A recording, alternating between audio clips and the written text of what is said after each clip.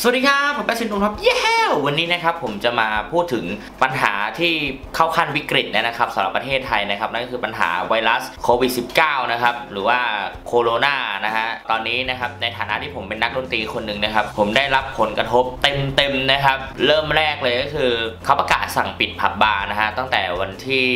17 นะฮะยาวไปถึงวันที่ 31 มีนานะครับณวันที่ผมอัดคลิปอยู่ตอนนี้คือวันที่ 23 มีนานะครับผมซึ่ง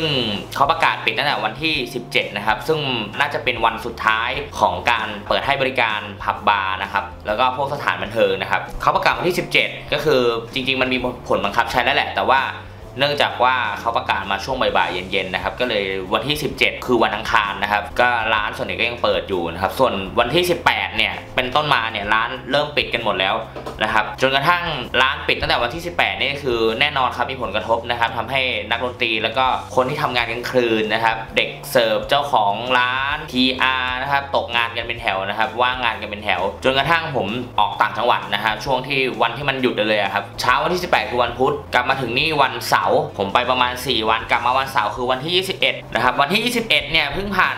18 19 20 21 ก็คือ 4 วันนะครับ วันที่ 21 เนี่ยประกาศ หยุดเพิ่มอีกครับ มีผลบังคับใช้ตั้งแต่วันที่ 22 ก็คือห้างปิดตลาดปิดนะครับ ก็คือร้านอาหารเนี่ยนั่งไม่ได้แล้ว สั่งกลับบ้านได้อย่างเดียว อันเนี้ยผมว่าเริ่มหนักแล้ว เริ่มหนักก็คือแบบเฮ้ยอะไรวะ เพิ่งผ่านไปไม่กี่วันที่ประกาศปิดมากกว่าเดิมอีกนะครับ จากวันที่ 31 มีนากลายเป็นวันที่ 12 เมษายนนะครับ ปกติเราจะปิด 14 วัน ตอนเนี้ยเพิ่มเป็น 22 วันนะครับ อันเนี้ยมีผลกระทบมากเลย เพราะว่าคนที่ขายของในตลาดหรืออะไรก็แล้วแต่เนี่ย มีผลโดนเยอะกว่าเก่าเยอะเลย นอกจากสถานบันเทิงอย่างเดียวนะครับ คืออย่างผมเนี่ยมีรายได้ 4 ทางนะครับ อันดับแรกเลยก็คือเล่นดนตรีกลางคืนนะครับ อันนี้โดนเต็มๆเลย เพราะว่าทุกงานทุกร้านทุกรอบการแสดงถูกยกเลิกหมดเลย ไม่ว่าจะงานนอกที่ดีลไว้แล้วก็ถูกยกเลิกนะครับ ห้องซ้อมดนตรีเงียบกิบครับ ทุกคนเก็บตัวนะฮะไม่มีใครมาซ้อมดนตรีนะครับ นักเรียนที่เรียนดนตรีอยู่ก็พักเรียนเกือบทั้งหมดเลยนะฮะ เพราะว่าไม่อยากออกจากบ้านนะครับ กลัว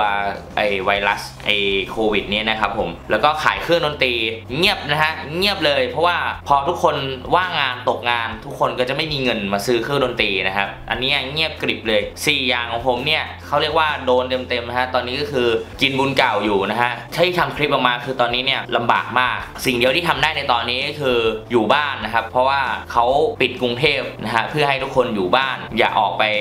รับเชื้อหรือแพร่เชื้อนะครับผมอยากจะบอกทุกคนว่าตอนนี้ผมว่างจริง ๆ แล้วเมื่อประมาณปลายเดือนที่แล้วที่ผมลงคลิปไปว่า ผมกลับมาแล้วครับ พอจะมีเวลาว่างมากขึ้นจะกลับมาทำคลิปแล้วแต่รอบนี้นะฮะเนื่องจากไอ้ไวรัสเนี่ยนะครับหยุดยาวตอนนี้ยอดผู้ติดเชื้อเนี่ยมากขึ้นเรื่อยๆ ทุกวันล่าสุดเลยวันที่ผมอัดคลิปเนี่ยวันที่ 23 มีนาตอนนี้เนี่ยมีผู้ติดเชื้อล่าสุดนะครับจากข่าวที่เขาแชร์แชร์กันเนี่ยคือ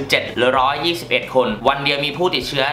122 คนจากเมื่อวานนะครับ ตอนนี้เนี่ยผมว่ามันเพิ่มขึ้นเรื่อยๆ สถานการณ์เนี่ยตอนนี้มันเริ่มคุมยากแล้วผมว่าผมมีแนวโน้มว่าผมจะตกงานแบบไม่มีกำหนดเลยยาวขึ้นเรื่อยๆ แล้วมันก็จะหนักหน่วงขึ้นเรื่อยๆนะครับตอนนี้เนี่ยผมเครียดมากนะครับผมก็เลยต้องทำคลิปแล้วแหละเพราะว่าถ้าอยู่เฉยๆเนี่ยแบบตกงานมันจะฟุ้งซ่านมากกว่านี้นะฮะฉะนั้นเนี่ยทุกคนนะฮะที่ดูคลิปนี้นะฮะอยากให้ผมทำคลิปอะไรนะฮะคอมเมนต์ข้างล่างคลิปเลยนะฮะด่วนๆเลยเพราะช่วงนี้เนี่ยว่างจัดเลยใครติดตามช่อง YouTube มาสังเกตว่าช่วงนี้ผมจะ cover รัวๆเลยเพราะว่าผมว่างมากแต่ว่าผมไม่อยากจะ cover อย่างเดียว เพราะว่า cover มันไม่ได้เงินนะฮะ